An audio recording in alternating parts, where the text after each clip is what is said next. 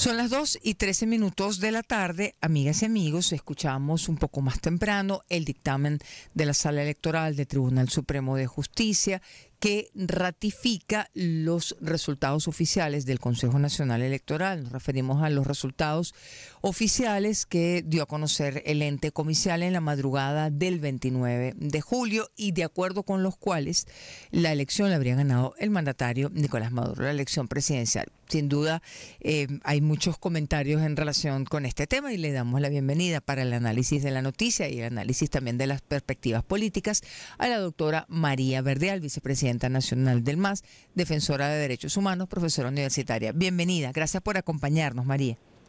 ¿Cómo estás, Vanessa? ¿Cómo estás todo? Pues muy bien, muy bien, viendo los acontecimientos. Sí, bueno, los acontecimientos. Yo ahorita voy subiendo de Guarena, precisamente estaba en un programa de radio y, bueno, oí la, la ponencia de o la narrativa de la presidenta de la sala electoral y presidenta del Tribunal Supremo de Justicia. Y empecemos por allí, María. Eh, el, dictamen de la sala electoral del TCJ zanja el conflicto, da por terminado el conflicto que se generó luego de los resultados oficiales. Bueno, lo primero que tenemos que decir que pareciera que la resolución de la sala electoral no va a poner fin al conflicto político que atraviesa el país.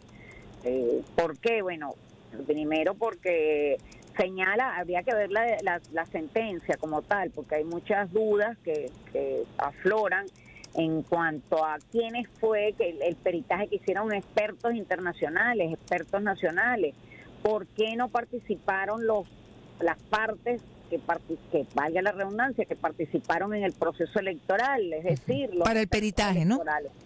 Perdón. Para el peritaje, María, se refiere a la participación. Claro, para el peritaje, para las resultas de este, de este, de, esta sentencia.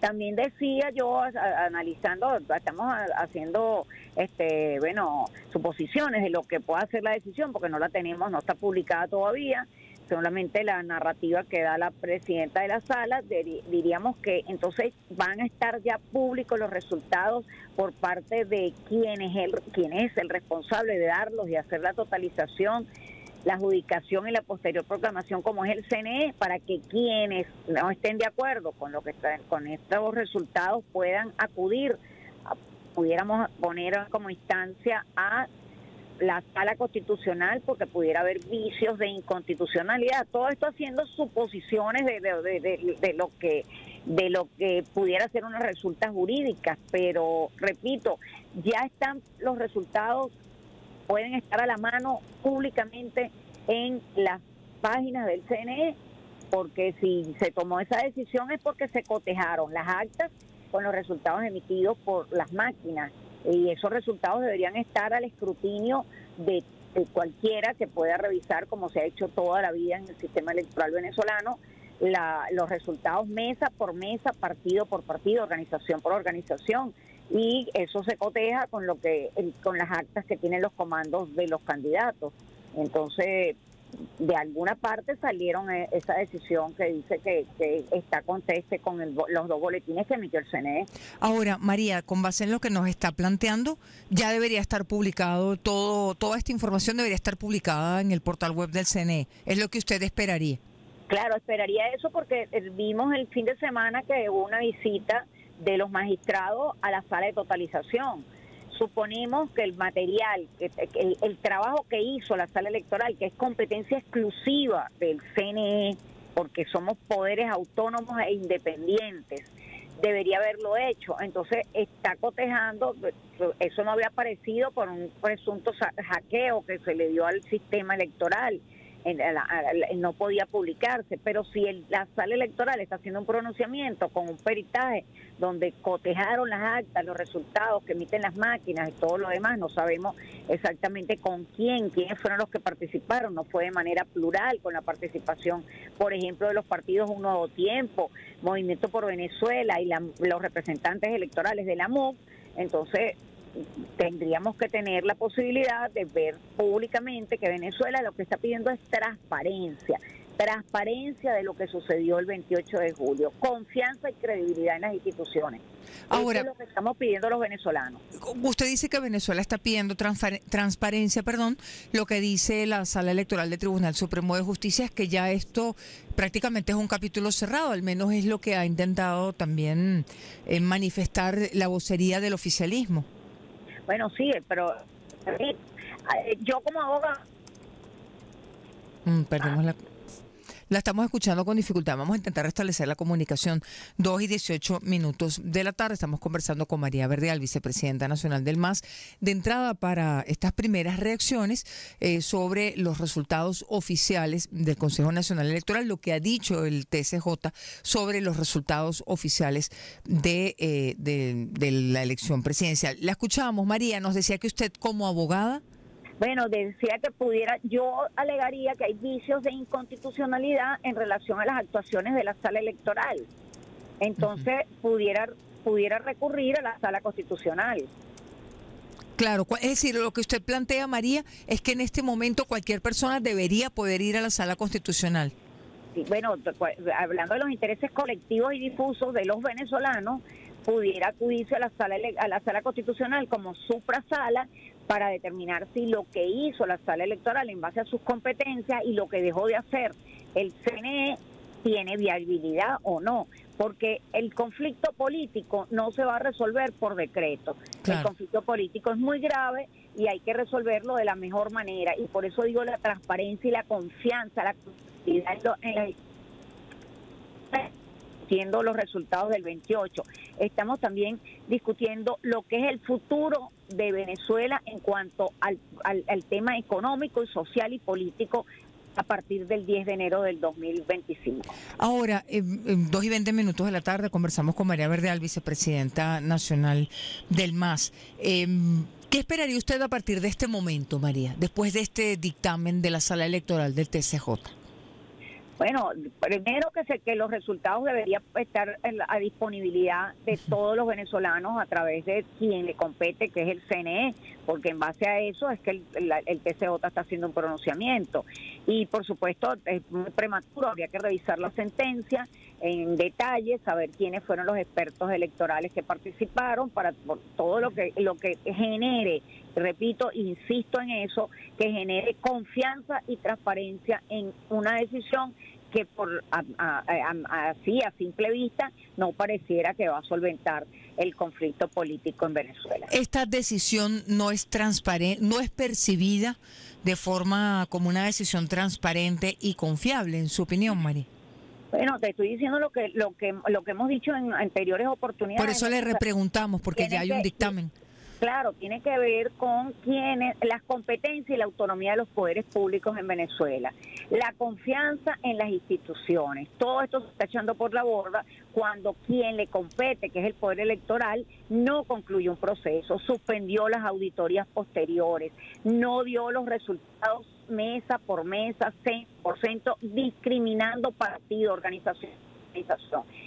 Entonces, ahora parece una decisión en base a unos a un peritaje que, que resolvieron unos expertos que no sabemos quiénes son, eh, unos expertos internacionales y nacionales, y por supuesto, si se está discutiendo la, lo que es la posibilidad de que se ganó las elecciones otro candidato, esto no va a aclarar el panorama político nacional de esta manera. Ahora, María, eh, Faltan meses para, para el mes de enero, falta un tiempo.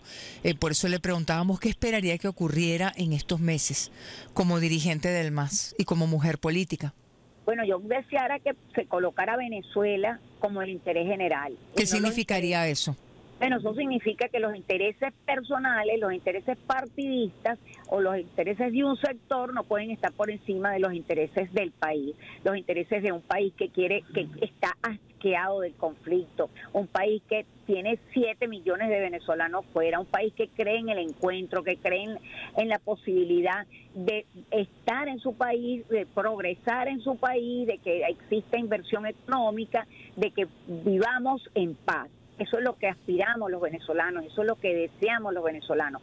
Y de esta manera, esta confrontación permanente, donde existen los fantasmas en todos lados, donde todo el mundo es conspirador, donde todo el mundo catalogado de fascista, de terrorista, etcétera, donde tenemos más de 2.000 presos desde el, desde el 28 a la fecha, que son jóvenes venezolanos que les están aplicando delitos de terrorismo y de, y de asociación para delinquir, que no tienen beneficio, esa no es la Venezuela que queremos.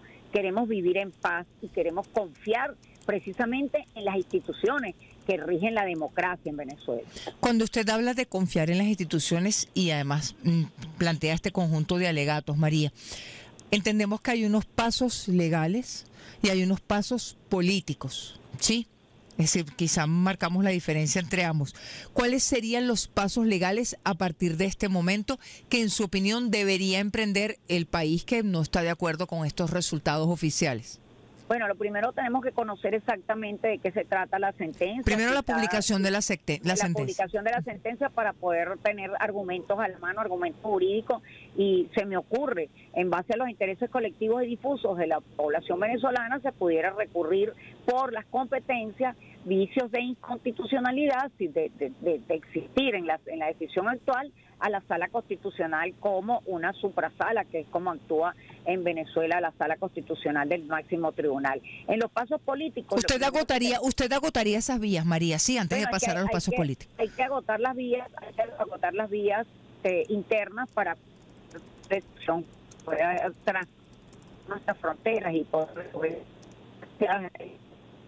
Pero estamos escuchando, pero malísimo. 2 y 24, 2 y 25 minutos de la tarde. Conversamos con la doctora María Verreal, vicepresidenta nacional del MAS. Hablábamos de los pasos legales y de los pasos políticos. En relación con los pasos legales, eh, María Verdeal nos lo ha dicho en el transcurso de la conversación, es partidaria de acudir a la Sala Constitucional del Tribunal Supremo de Justicia.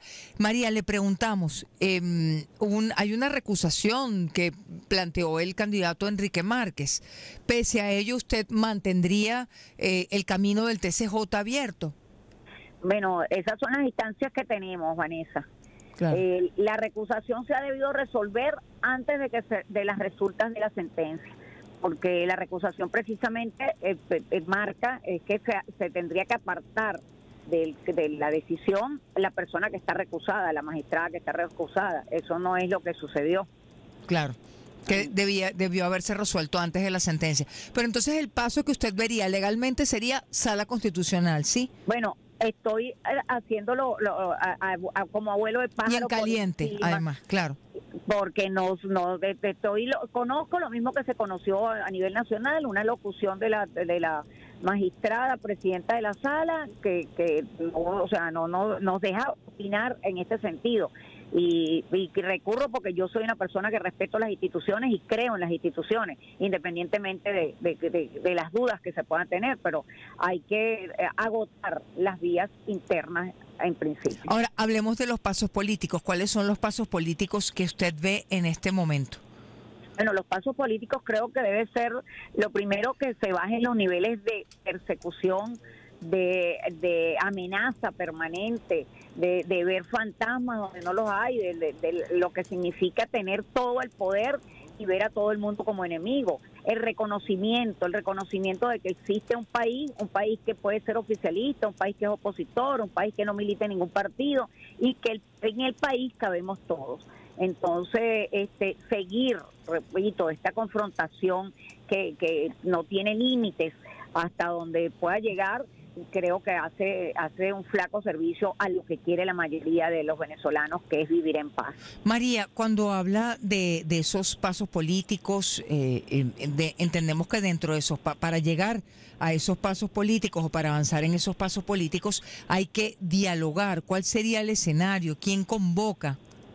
Bueno, hay otro paso que se me olvidó que tiene que ver también, Vanessa, que es el tema de en la democracia existe la alternabilidad en el poder.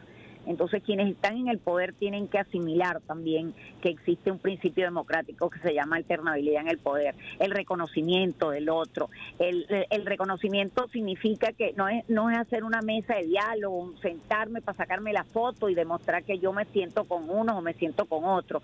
Eso no le ha servido de nada a Venezuela.